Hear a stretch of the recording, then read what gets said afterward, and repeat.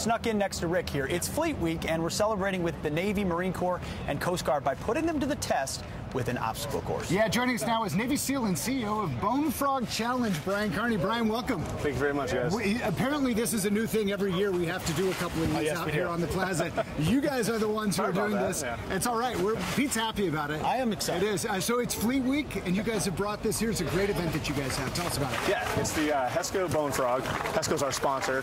Uh, it's the only Navy SEAL obstacle course race in the country.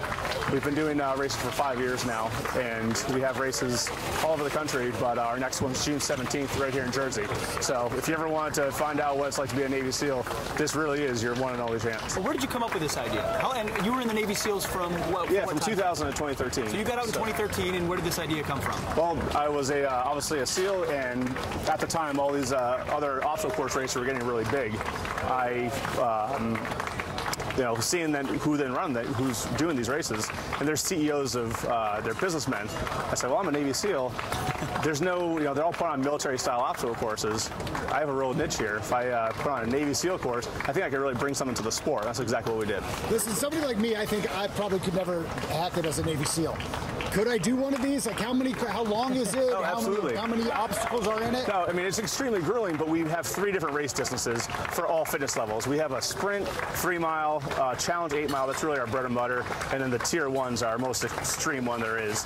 So it's really meant to open up to everybody. So you don't, can't be like determined. Four today or something. So, give, give us some tips though. So Rick, you're going to be doing it, I think. I- you will Maybe. see. I think we just roped him into it. I'm going to be doing it now. I mean, what am I? I'm just a simple soldier, not a Navy No, SEAL. no, What- I mean- approach? Hey, you can get help on any of the obstacles, so that makes it simple. But uh, no, I mean it really is they're functional fitness obstacles. There's our, you know, you see we don't have water slides out here. We don't have color in your face or anything. These are military Navy SEAL style obstacles. Exactly But you we're did doing. bring some mud for us. Just We did, just a little bit. All right, we're out here all morning. Brian Carney, thanks so much for bringing Hey, us appreciate here. it, guys. And, and Pete's going to get suited up. Wait, he said about you inside.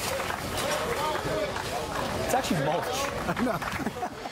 Thanks, Rick. All right. Well, as we